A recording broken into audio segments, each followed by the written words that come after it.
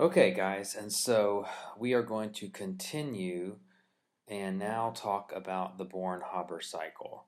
And so it is another technique for determining enthalpies, and you can determine uh, other things besides enthalpies with it.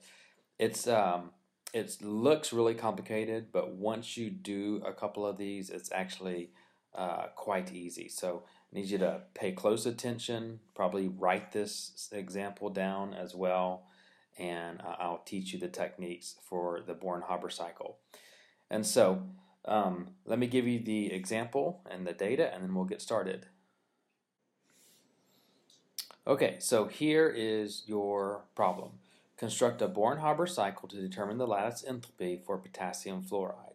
And you get you're getting all of this data, and you're going to need to use all of this data to solve the problem. And so um, let me go ahead and begin to set this up and we'll show you how a cycle works. Now all the cycles work the same way and so if you learn this basic idea then you are going to know how to do a Born-Haber cycle for any uh, particular substance. Okay, and so what you're going to begin with is you're going to begin with the elements potassium and fluorine in their standard states. And so you're going to begin with potassium, which is going to be in the solid state, and you're going to begin with uh, one half of F2 because we just need one F to make potassium fluoride. So one half F2, and that's going to be uh, in the gaseous state.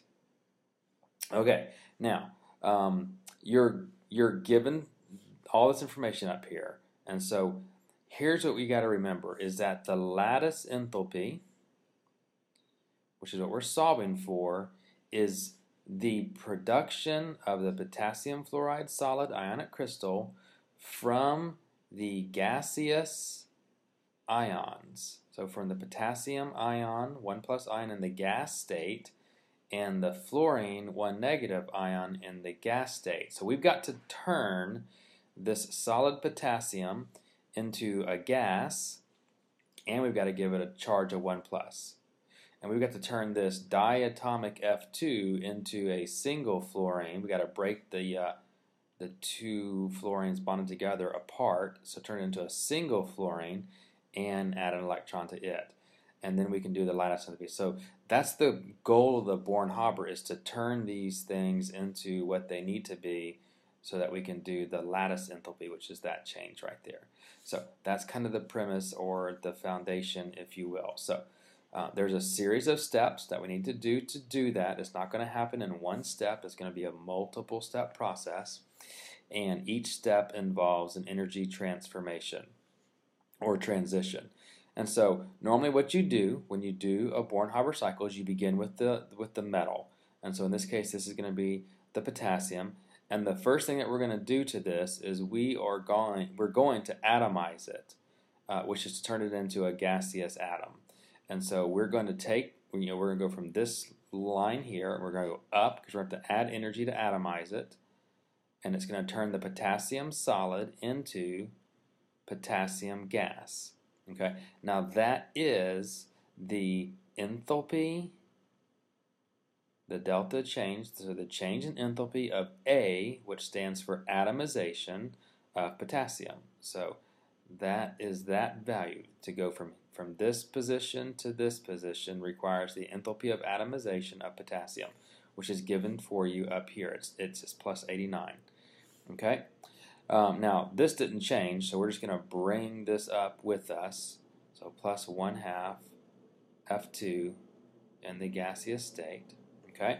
Now we're going to continue working with the metal until it's in the state that we need it to be in, which we need it to be in the uh, gaseous state with its one positive ion. Okay, that's, that's what we need it to be in. So we're going to make another transition and we are going to ionize that potassium atom and we're going to turn it into a potassium 1 plus atom. So that's the ionization energy. It's still going to be in the gas state. So this step here is the first ionization energy for potassium, which has been given to you up here as well. Okay, so to go, we'll go ahead and kind of put them over here on the right side. So to go from here to here, we have to add, uh, so the atomization of potassium was plus 89, so plus 89. These are kilojoules per mole. I don't have space for them, but they're kilojoules per mole. To go from here to here, that was the first ionization energy of potassium, so we had to add to it 418 kilojoules per mole. Now, once again, we just pull the fluorine up. We're not even working with that yet. So plus 1 half F2 in the gas state. Okay. Now, the potassium is what we need it to be in. It is now in the gas phase and it's charged. So we have the gaseous ion of potassium, which is what we need for lattice enthalpy. Now we need to work on the fluorine. So we're going to atomize the fluorine. So to atomize something means you make it an individual atom in the gas state. So we're just going to bring the potassium up. It's good. We're just going to bring it up. So potassium 1 plus in the gas state. And now the 1 half F2 becomes simply F. We're taking half of a diatomic, which gives us one fluorine, and it's in the gas state. And so we've atomized fluorine. So this is the enthalpy of change of atomization for fluorine. Okay? And if we're going to keep track of our numbers here, this change right here is, where's it at? Right there. Plus 79. Now we need to take the fluorine and make it um, a positive, I'm sorry, a negative charge. Actually, I forgot to write it. That's This is very, very bad. You should write it. So when we go from here to here, we took off an electron. We should I should have written plus one electron because uh, that electron doesn't just go into nowhere. It, it, it's here. Now, so here we have, um, if I compress this a little bit so that it's a little tighter. So we have the potassium ion plus the electron that it gave up plus the fluorine uh, that's gaseous. And that was the atomization of fluorine. So we should have this electron uh, on this step as well. Okay, now we need to uh, give that electron to the fluorine. Remember, because this is what's going to happen, the potassium is going to give to the fluorine. So we need to give the electron to the fluorine, and that's going to be the electron affinity, which we talked about um, as well. Now, the electron affinity, look at the sign right there. What's the sign of electron affinity? At least the first electron affinity is negative. And so in this case, instead of continuing to go up, we're just going to kind of go over and then down because we're losing energy. We're giving up energy. So this is a negative 348. So we have an energy drop there. Oops, wrong color.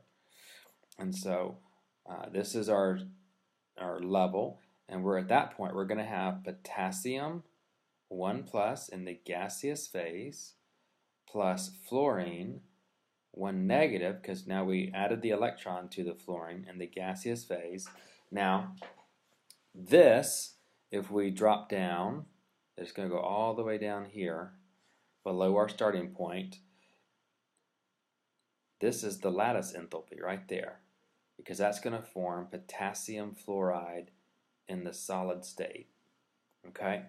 And so, because the gaseous ions forming the, the ionic crystal, that by definition is lattice enthalpy. Okay, now we got, uh, we need to finish one more thing here. We have to go, let's go ahead and just bring this line over here to stretch it out.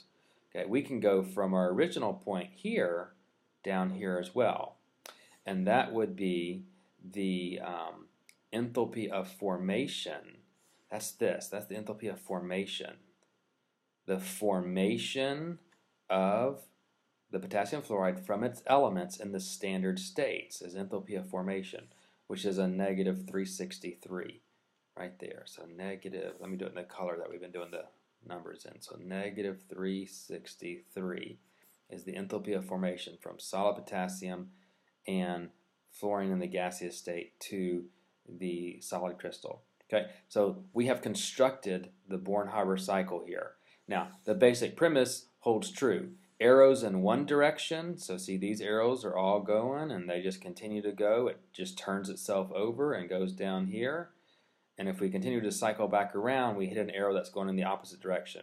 Okay, And so these arrows in yellow are equal to the other pathway, which is just this single drop right there.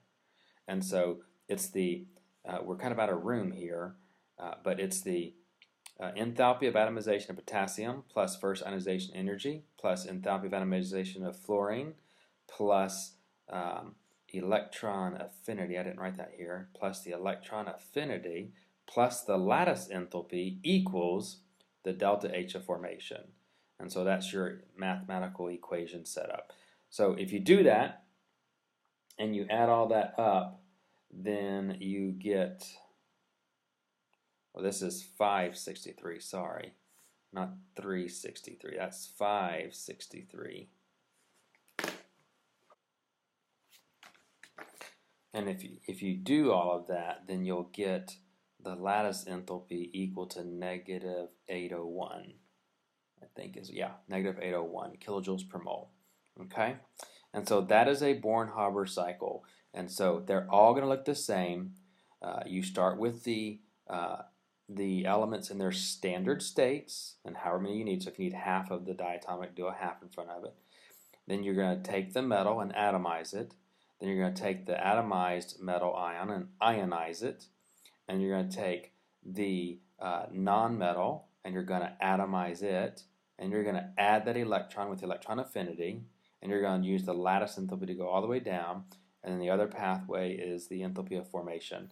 Now, in this case, we solve for lattice enthalpy, but you could solve for anything. If I gave you lattice enthalpy, and all the other things, I could maybe ask you to find the electron affinity or the first ionization energy or the atomization of fluorine. I can give you any of the numbers and ask to find the, the one that I leave out. Now, one thing to mention before we move on, if there happens to be a, a metal that's going to be a 2 plus, um, or sorry, a 2 negative. And so remember, the first electron affinity would go down but if there was a second, so we're making like, say it was oxygen, so we're making an oxygen that needs to be 2 negative, this step here would make it a 1 negative, and we have to add another electron to make it 2 negative.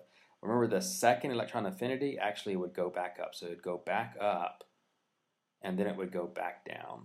Uh, so just keep that in mind. We're going to do some practice, so you'll see that in the practice problems. So that's a Born-Haber cycle.